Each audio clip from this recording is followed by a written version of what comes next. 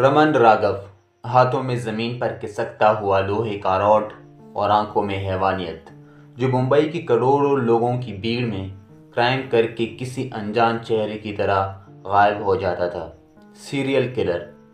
मुझे नहीं पता कि आप में से कितने लोग इस वर्ड को सही तरह से समझते और जानते हैं। खून करने का तरीका और मरने वालों की लिस्ट में जब एक पैटर्न नज़र आने लगे तो समझ लेना कि इन मासूमों को उनके अंजाम तक पहुँचाने वाला एक खूनी या एक कत्ल की आइडेंटिटी से उठकर एक सीरियल किलर बन जाता है। 1960 का मुंबई। इस दौरान ऐसे कई वाकयात सामने आए, जिनमें बेकारियों और बेकार लोगों के सर कुचल कर कत्ल कर दिए गए थे। क्राइम दो लॉट में हुए। पहले 1965 और 1966 के बीच, जब 19 लोगों पर हमला किया गया था। क्राइम की दूसरी शुरुआत 1968 में हुई। यानी कि दो साल मुसलसल खामोशी के बाद। अब मुंबई पुलिस के लिए सबसे भयानक और पेचीदा केस, जिसे सुलझाना एक नामुमकिन सा काम लग रहा था, वो केस दरअसल में एक सीरियल किलर का था। हिंदुस्तान का सबसे पहला documented serial killer Raman Raghav. एक ऐसा शख्स जो मुंबई तो मिल्स में काम करने के लिए आया था, लेकिन देखते ही देखते वो एक सीरियल किलर बन गया और इकतालीस खून कर बैठा और एक सीरियल किलर के नाम से जाना जाने लगा। अगस्त 1966 में बम्बई के बाहरी इलाकों में क्राइम की एक लहर शुरू हो गई थी। रमन, जिसे सिंधी तलवई, अन्ना, तंबी और विल्लू स्वामी नाम से भी जाना जाता था, फुटपाथ और बेघर लोगों को मौत की नींद सुला देता था और वो ये सब काम रात के कट्टर अंधेरे में करता था और मारने के लिए एक सॉलिड लोहे से बनी हुई रॉड का इस्तेमाल करता था। कुछ साल पहले बम्बई की ईस्ट साइड में 1965 और 1966 के बीच 19 लोगों पर हमला किया गया था, जिनमें से नौ की मौके पर ही मौत हो गई थी। रमन ने नौ लोगों का कत्ल किया था, इनमें से अक्सर बम्बई की ईस्ट साइड के एक म्यूनिसिपल वाटर पाइपलाइन के बगल में रहते थे। जो लोग मुंबई में रहते हैं, उनको अच्छी तरह से पता होगा कि आधे से ज़्यादा मुंबई सड़कों पर ही बसता है और सड़कों पर ही सोता है और सड़कों पर ही मर जाता है। और ऐसे ही लोगों में रमन को अपना शिकार नज़र आता था, जिन्हें वो कीड़े मकोड़ों की तरह मार देता था। एक ऐसा ही वाक्य कि जब रमन ने एक शख्स को झोंपड़ी में सोता हुआ देख लिया, जिसके बाद रमन ने लोहे के रॉड से उसका सर कुचल दिया, जिसके बाद रमन ने उसकी झोंपड़ी से मिलने वाला काना, यानी कि चावल और रोटी को भी काया in front of his dead body काना खत्म करने के बाद रमन झोपड़ी से निकलता है और पीछे मुड़कर एक लकड़ बग्गी की तरह हंसकर अंधेरों में गायब हो जाता है। एक और ऐसे वाक्य में रमन ने एक सोती हुई औरत को मार डाला। और आप विश्वास नहीं करेंगे कि उस सूती हुई औरत का उसने रेप भी कर डाला। इसे अंग्रेज़ी में कहते हैं नेक्रोपीडिया। और एक बार फिर रमन ने जोमनी से मिलने वाला खाना भी गाया एक मरी हुई लाश के सामने जिसने अभी अभी उसका मर्डर और रेप किया था। पुलिस ने रमन को पूछताछ के लिए उठा लिया था, लेकिन लैक ऑफ़ एविडेंस के कारण उसे छोड़ दिया गया और सिर्फ़ बम्बई से बाहर निकाल दिया गया और दो साल की पाबंदी लगा दी गई थी। लेकिन क्या रमन फिर से वापस आ गया? उसने कमज़ोर लोगों को मारना शुरू किया, जिनमें से अक्सर हमला करते वक्त सो रहे होते। उनकी कुछ चीज़ें चुराता और मर्डर करके गायब हो जाता। लेकिन 1968 में क्राइम ब्रांच के ऑफिसर रामाकांत कुलकर्णी ने आखिरकार 27 अगस्त 1968 को रमन राघव को पकड़ लिया। 27 अगस्त 1968 ये वो दिन था जब रमाकांत कुलकर्णी की टीम के एक सब इंस्पेक्टर ने रमन को कुछ तस्वीरों और उन विक्टम की डिस्टमिनी से पहचाना जो रमन के हमलों से ज़िंदा बच गए थे। और उनका चेहरा भी देखा था। एलेक्स पियालो ने उसे कोजा और इलाके के दो पुख्ता गवाहों के साथ उसने रमन राघव को अरेस्ट कर दिया। रमन ने पुलिस कस्टडी में मान लिया कि वो ही रमन राघव है। रमन के पास एक जुड़ी चश्मा, दो कंगी एक कैंची, साबुन लेसन और दो लिखी हुई मैथमेटिकल फिगर के साथ दो कागज़ के टुकड़े मौजूद थे। जाड़ी हुई शर्ट और काकी शॉर्ट जो उसने पहनी हुई थी खून से सने हुए थे। जूते बेहद ही ज़्यादा गंदे थे और उसके फिंगरप्रिंट से ये पता चला कि वो ही रमन राघव है उर्फ़ सिंधी तलवई। पूछताछ के दौरान रमन के मुँह से एक भी लफ्ज नहीं निकला। वो एकदम चुप रहा और कोई भी टॉर्चर उस पर काम नहीं कर रहा था। तो क्या आपको पता है कि रमन का मुँह किसने खोला? एक मुर्गी ने। अब राघव से पूछताछ करने वाले इन्वेस्टिगेटर में से जस्ट एक ने ऐसे ही उनसे पूछ लिया कि क्या आपको कुछ चाहिए? इन्वेस्टिगेटर के सवाल ख़त्म होने के फ़ौरन बाद रमन का मुँह खोला और वो बोला कि चिकन चिकन माँगता है अपने को। यस, रमन को चाहिए थे चिकन और उसका ऑर्डर लिखा मुंबई पुलिस ने। चिकन की डिश खाने के बाद उसने एक और चिकन मांगा, लेकिन इस बार चिकन बिरयानी। इसके बाद उसने नारियल का तेल और एक कंगी मांगी। नारियल के तेल से अपने पूरे जिसम की मालिश करके उसकी खुशबू की तारीफ़ की। आईने के सामने अपने बालों को संवारता रहा और पीछे मुड़कर पुलिस वाले से पूछा कि क्या माँगता है तेरे को?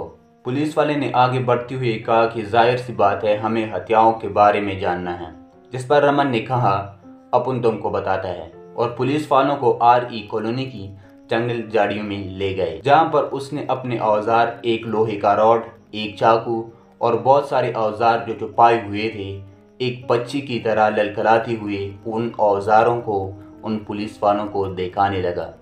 रमन ने मजिस्ट्रेट के सामने इकतालीस लोगों को मारने की बात भी मान ली। हालाँकि पुलिस वालों का ये कहना था कि मर्डर काउंट इससे भी ज़्यादा है। अपने कबूल नामे में रमन ने खुद के छियासी मर्डर किए हैं और ऐसा करने के लिए उनको कानून की तरफ़ से कुली छूट मिली थी। इस पूरे कारनामे के बाद रमन को पुलिस सर्जन के पास भेजा गया। जहाँ पर वो तिरपीस दिन तक रहे। इसकी रिपोर्ट से पता चला कि रमन पागल नहीं है और इसी रिपोर्ट के साथ रमन का ट्रायल आगे बढ़ा and Raman till date guilty Raman को अदालत में पेश किया गया, लेकिन रमन ने सवालों के जवाब देने से साफ़ साफ़ इनकार कर दिया। हालाँकि वो चिकन खाने के बाद सवालों के जवाब देने लगा था। इसके बाद रमन ने एक डिटेल स्टेटमेंट में अपने औज़ार और काम करने का तरीका बताया। इसके बाद ये मामला सेशन कोर्ट मुंबई की तरफ़ बढ़ाया गया।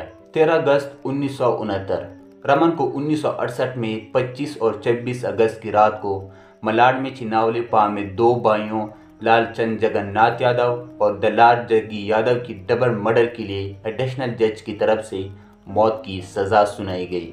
कानून के मुताबिक रमन के लिए दो डिफेंस लॉयर चुने गए।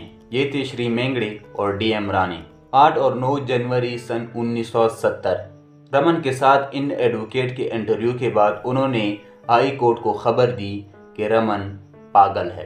कौंसल डिफेंस के वकील ने अर्जी लगाई कि अक्यूज रमन दिमागी तौर पर काफ़ी ज़्यादा बीमार था और बीमार है। उन्होंने ये दावा किया कि रमन इसारी खून करते वक्त दिमागी तौर पर काफ़ी ज़्यादा कमज़ोर था और उसको ये भी नहीं पता था कि खून करना कानून के खिलाफ है।